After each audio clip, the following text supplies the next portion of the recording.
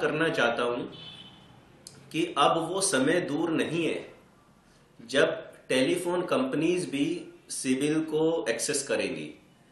Act के अंदर ये भी दिया गया है कि कौन कौन से लोग सिविल संस्था से रिपोर्ट ले सकते हैं। उसमें टेलीफोन कंपनीज़ का भी नाम है।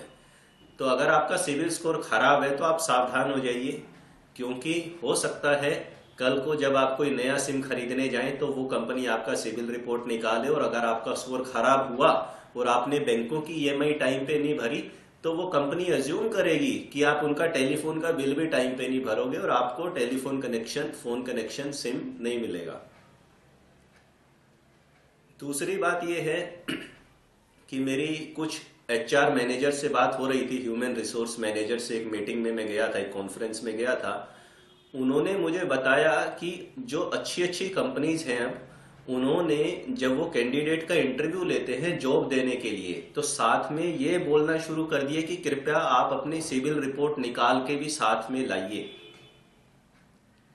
यानी कि अगर आप किसी कंपनी में, अच्छी कंपनी में जॉब करने जाएँगे और वो एचआर मैनेजर आपको बोलेगा, सिविल रिपोर्ट साथ में लाओ और वहाँ पे सिविल स्कोर खराब हुआ तो हो सकता है उस नौकरी से भी हाथ धोना पड़ जाए।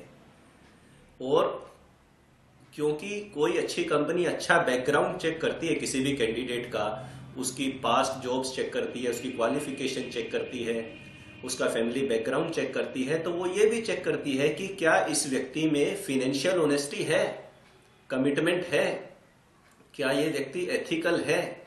कहीं ये व्यक्ति इनडिसिप्लिन तो नहीं है? अगर आपका सिविल स्कोर अच्छा है तो इसका मतलब है जो आपकी पर्सनैलिटी के दूसरे गुण हैं, वो भी रिफ्लेक्ट होते हैं उस स्कोर से। इसका मतलब है कि आप पंक्चुअल हो। इसका मतलब है आप डिसिप्लिन हो, आप इरिस्पॉन्सिबल नहीं हो, आप एथिकल हो, आप कमिटमेंट हो यू आर ए कमिटेड हो you are a man of words तो ये सब जो अदर वर्चूज हैं, वो आपका सिविल स्कोर आपकी पर्सनैलिटी के बारे में रिफ्लेक्ट करता है। हो सकता है वो एचआर मैनेजर आउटराइटली आपको रिजेक्ट ना करे, आपको एक्सप्लेनेशन का चांस दे। परंतु यदि आपके सिविल में बहुत ज़्यादा खराबी है, बहुत ज़्यादा डिफ़ॉल्ट हो रखे हैं और आप वहाँ अकाउंटेंट की जॉब करने गए हो तो बताओ आप कितने परसेंट चांस है फिर आपके सिलेक्ट होने के? या आप किसी भी सीनियर पोजीशन के लिए गए हो? तो सिविल की कहानी सिर्फ़ लोन लेने तक सीमित नहीं है। सिविल की कहानी टेलीफोन कंपनीज़ तक भी जाती है, कल को फ्यूचर में आपके एम्प्लॉयमेंट तक भी जा सकती है। और मैं तो यहाँ तक भी कहूँगा कि मैं फ़िल्म देख रहा था, कल रात को अक्षय कुमार की टॉयलेट एक प्रेम कथा। तो मेरे दिमाग में आइडिया आ रहा था, फ़िल्म ऐसी भी बननी चाहिए सिविल एक प्रेम कथा। उसमें हीरो हीरोइन से प्यार करता है, और हीरोइन प्यार में पड़ जाती है हीरो के, और सपने बुनने लगती है कि हमारी शादी होगी और हम एक अच्छा सा घर खरीदेंगे। जब शादी करके हीरोइन ससुराल जाती है तो वो बैंक मैनेजर बैंक को फ़ोन करती है लोन एप्लीकेशन के लिए एग्जीक्यूटिव घर पे आता है और सिविल रिपोर्ट सामने आती है तो पता लगता है पति ने बहुत सारे डिफ़ॉल्ट कर रखे हैं, स्कोर 500 से भी नीचे है, होम लोन ही नहीं मिल सकता।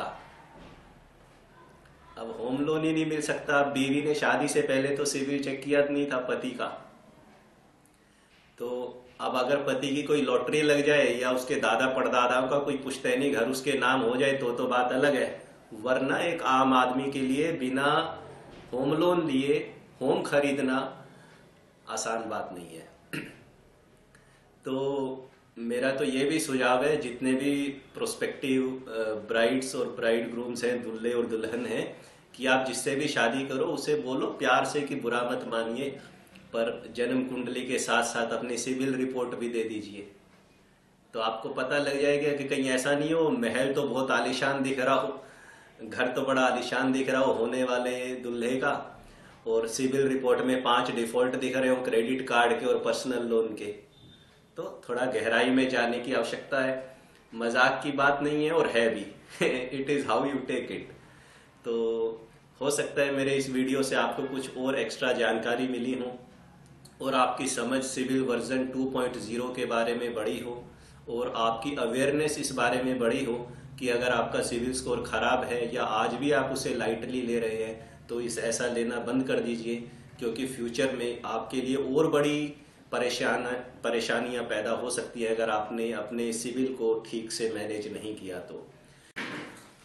अरे हाँ एक बात तो बताना भूल गया। पिछले महीने मैंने अपना फ्लैट किराए पे दिया, मैंने किराएदार को बोला सिविल रिपोर्ट लेके आना। वो सरप्राइज़ था, फिर भी वो ले आया। वहाँ पे बहुत सारे डिलेड पेमेंट थे, बहुत सारी ईएमआई बाउंसिंग थी, मैंने उसे घर किराए पे नहीं दिया। मैंने कहा, भैया, जब आप बैंक की किस्तें टाइम पे नहीं दे सकते तो क्या गारंटी आप मेरा किराया टाइम पे दोगे? फिर मैंने दूसरा किराएदार देखा, जिसकी सारी पेमेंट्स टाइमली जा रही थी, और मैंने खुशी खुशी उसे अपना घर किराए पे दे दिया, और मेरा यकीन मानिए, एक भी दिन उसने किराया लेट नहीं किया, क्योंकि उसकी आदत में शामिल है ईएमआई या किराया तमाम फिनेंशियल दिक्कतों के बावजूद समय पर देना।